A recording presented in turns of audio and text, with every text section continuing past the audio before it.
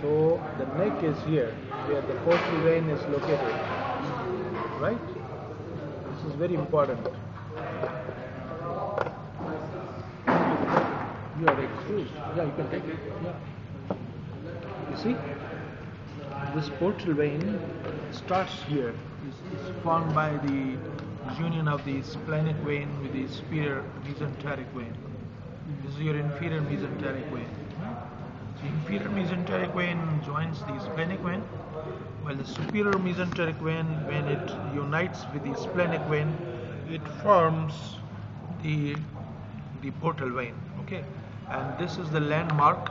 The part of the pancreas medial to it is the head. Okay, the part of pancreas lateral to it is the body, and this part is the neck of the pancreas. Okay. Similarly, anteriorly, you can see the site of entry of the superior mesenteric vein. Okay. And you can make out, you can see at the top the, the portal vein coming out and join these two parts like this. So, part of the pancreas medial is the head, part of the pancreas laterally is the body, and the part behind my pencil in conformity with the portal vein and superior mesenteric vein, this is the neck of the pancreas. Right? So neck is narrower than the head and the body both, isn't it? Right? And uh, uh, you can see the splenic artery at the top there. You can see the main pancreatic duct there. But the main structure here posteriorly, there is a process known as uncinate process of the pancreas. Okay. Now the uncinate process and this part of the head of the pancreas are embryologically developed from which part? Ventral pancreatic bud or dorsal? Have you done the development of pancreas? Uh, development of GIT? Yes. Embryology of GIT? Have you done lecture on that? Yes. So this can cheer it. Uncinate process and this part of the head develops from ventral. It develops from ventral pancreatic bud and then ventral pancreatic bud goes backwards, rotates like this and unites with the remaining of the pancreas to completely form the head of the pancreas. So these are the important things to be known. You can see the main pancreatic duct going here, opening at the major duodenal papilla, and you will find accessory pancreatic duct opening about two centimeters above this opening. This this is the minor duodenal papilla. So you have got the opening of the main pancreatic duct and accessory pancreatic duct in the descending part or second part of the duodenum and brings the pancreatic juice right there. Okay. So note the, the parts of the of the of the pancreas: head, neck, body, main pancreatic duct, accessory pancreatic duct, superior gastroduodenal artery, inferior gastroduodenal artery, anastomosing here, as well as on the back. And superior mesenteric vein and artery, portal vein, and this is your hepatic artery there. They will go through the lesser omentum into the liver. Liver is located here. These are going in the liver. Okay. And uh, see, this is the tail of the pancreas sitting in the ligament, gastrosplenic ligament there, not gastrosplenic, lienorenal ligament. So the tail touches with the hilum of the spleen there. That's it. This is uh, celiac trunk. Celiac trunk This is- is here. Celiac trunk is We give uh, here. Celiac trunk gives splenic artery, it gives hepatic artery, hepatic and it gives uh, Gastrodian. uh, right gastric and left gastric arteries not shown here. Okay, It's relation, pardon? uh, relation. Of the of the pancreas. Yeah. Yeah, very simple. You, see, you, you are having attachment of the transverse mesocolon right there, right? Yeah. So below this transverse mesocolon, attachment with the mesentery of transverse mesocolon. Below this, you are having infracolic compartment, above you are having supracolic compartment.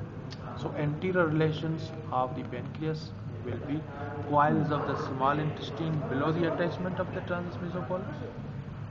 Okay.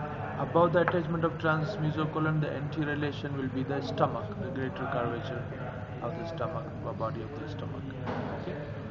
And you see anteriorly it is uh, having uh, so posteriorly it is having the the kidneys and the suprarenal glands at the two ends there.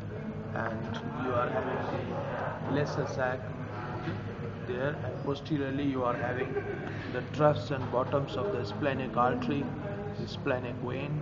And posteriorly you are having the inferior mesenteric vein and superior mesenteric vein which unite to form the portal vein okay?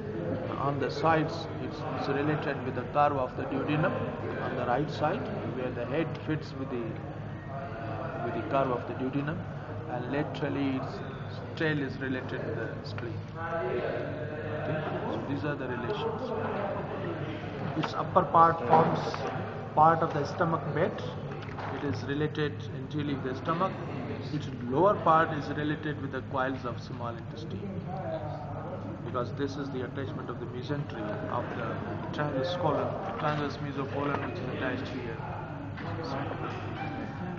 Thyroid. Uh, thyroid, huh? Thyroid is very simple. So we are having two lobes. It's two lobes of the thyroid. Sitting here, united with each other to form the uh, isthmus, right? And what are the tracheal rings related with isthmus? Isthmus? Sorry? Very tracheal rings. The rings of the which rings of the trachea? Second, third, fourth. Uh, second and third. Second and third. They are related with the with the isthmus. And then the you see both the lobes they are projecting upwards and related with the thyroid cartilage on both the sides. And these ascend in conformity with the superior border of or medial border of the lobe with the oblique line of the thyroid cartilage. So you are having oblique line of the thyroid cartilage here, oblique line of the thyroid cartilage here, and the lobes of the thyroid gland are related with these. Sometimes you may find uh, accessory lobe of the thyroid, which is there. Okay. Yes. Okay. And it will go upwards there. But usually there are two lobes, and you see it's, it's just making a very deep contact with the trachea, and there is a common fascia which covers the thyroid as well as trachea known as pretracheal layer of the fascia so that the thyroid gland is completely it's completely plastered uh, onto the trachea. That's why when we swallow something the the thyroid cartilage moves upwards bringing with it the attached pretracheal fascia which is attached on the oblique lines so it's, it's just like uh, you take a paper and attach the oblique line, tissue paper attach the oblique line, and then paste it with gum. So if the thyroid cartilage is lifted up, thyroid gland will be lifted up.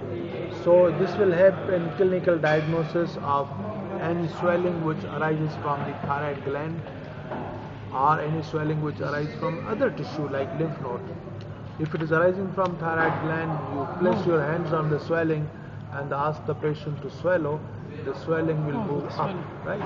If it's from lymph node or other tissue, it will not move because it is away from the pretracheal fascia. Yes. So this pretracheal attachment is very important. Yes. And the rest of the things are just simple. Three arteries to supply it. superior thyroid artery, middle thyroid artery, and inferior thyroid artery. Similarly, names three veins, superior thyroid vein, middle thyroid vein, and inferior thyroid veins are draining out of it. Okay. So that's here. And deep, deeply it is. Uh, this is, is trachea. This is esophagus. This groove is important because it contains the recurrent laryngeal nerve. Okay.